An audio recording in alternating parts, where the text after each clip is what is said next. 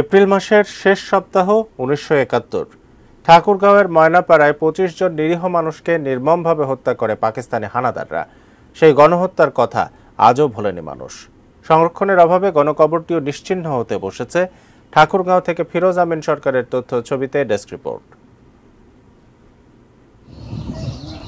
জেলা শহর থেকে প্রায় ষোলো কিলোমিটার উত্তর পূর্ব দিকে সদর উপজেলার বালিয়া ইউনিয়নের আদর্শ গ্রামের একটি পাড়ার নাম ময়নাপাড়া। একাত্তরের মার্চে শুরু হলো মুক্তিযুদ্ধ। তেইশ এপ্রিল ময়নাপাড়ায় ঘটে নির্মম গণহত্যা। সেদিন পাকিস্তানি হানাদার ও তাদের এ দেশীয় দোসরদের পৈশাচিকতা ছিল কল্পনাতীত।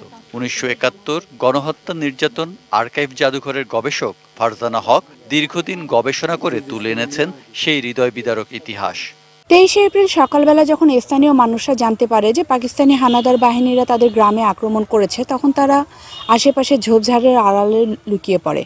পাকিস্তানি হানাদার বাহিনী স্থানীয় দালালদের সহযোগিতায় এই পঁচিশ জনকে ঝোপের আড়াল থেকে কাউকে বা বাড়ি থেকে টেনে হিচড়ে গণহত্যার স্থানে নিয়ে আসে এবং গণহত্যার স্থানে আনার পর স্থানীয় দালালরা তাদের বাঁশ দিয়ে খুঁচিয়ে খুঁচিয়ে হত্যা করে।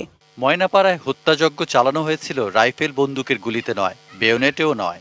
বাঁশের তীরের ফলা দিয়ে খুঁচিয়ে খুঁচিয়ে হত্যা করা হয়েছিল পঁচিশ জন নারী পুরুষ ও শিশুকে। একই পরিবারের ছিলেন বারো জন। আট বছরের বালক উপেন্দ্রনাথ রক্তাক্ত অবস্থায় পানি চাইলে এক পাকিস্তানি সৈন্য তাকে আছাড় মারে।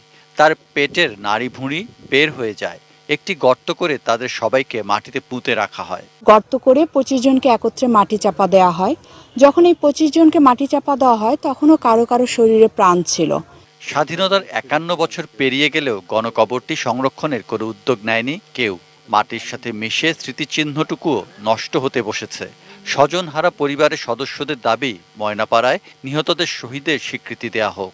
গণখবরটার ইয়ার বড় মেলা মানে ইয়া দিছি দরখাস্ত দিছি কিন্তু কোনো কাজ হয়নি। একটা স্মরণ থাকুক যেখানে যাই হোক বিশ পঁচিশটা লোক একাত্তর যুদ্ধেই গাড়ি রাখছে এটাই একটু থাকুক। স্মৃতিসৌধটা যদি হয় তাহলে জায়গাটা আমার পরিষ্কার থাকবে, সবসময় যেন কেয়া হবে। এটা আমরা দাবি করছি। গণকবরটি সংরক্ষণ করে ইতিহাস তুলে ধরা হোক নতুন প্রজন্মের কাছে, এমনটাই প্রত্যাশা জেলাবাসীর। Saikat Dasgupta, desk report, ATN news.